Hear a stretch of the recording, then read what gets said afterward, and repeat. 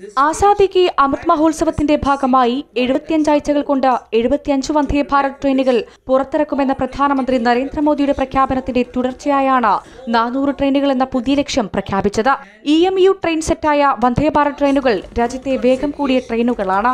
നൂറ്റി അറുപത് കിലോമീറ്ററാണ് പ്രഖ്യാപിത വേഗമെങ്കിലും നൂറ്റി മുപ്പത് കിലോമീറ്ററാണ് ഇപ്പോൾ അനുവദിച്ചിരിക്കുന്ന പരമാവധി വേഗം. രണ്ടായിരത്തി ഇരുപത്തിരണ്ട് ഇരുപത്തിമൂന്നിൽ ദേശീയപാത ശൃംഖല ഇരുപത്തി അയ്യായിരം കിലോമീറ്റർ വർദ്ധിപ്പിക്കും. ഇതിനായി ഇരുപതിനായിരം കോടി രൂപ അനുവദിക്കും. യാത്രാ സൗകര്യ വികസനത്തിൽ അർഹമായ പ്രാധാന്യം നൽകുമെന്നും ധനമന്ത്രി സഭയിൽ വ്യക്തമാക്കി. ഇലക്ട്രിക് വാഹനങ്ങളുടെ ഉപയോഗം പ്രോത്സാഹിപ്പിക്കും. ഇലക്ട്രിക് വാഹനങ്ങൾക്കായി ബാറ്ററി സ്വാപ്പിംഗ് പോളിസി കൊണ്ടുവരും. കൂടുതൽ പ്രദേശങ്ങളിലേക്ക് ഇലക്ട്രിക് ചാർജിംഗ് സംവിധാനം വ്യാപിക്കുമെന്നും ധനമന്ത്രി പറഞ്ഞു. റോഡ് റെയിൽ വിമാനത്താവളം തുറമുഖങ്ങൾ തുടങ്ങി ഏഴ് ഗതാഗത മേഖലകളിൽ ദ്രുത വികസനം കൊണ്ടുവരുമെന്നും ധനമന്ത്രി സഭയിൽ അറിയിച്ചു news desk C Malayalam news.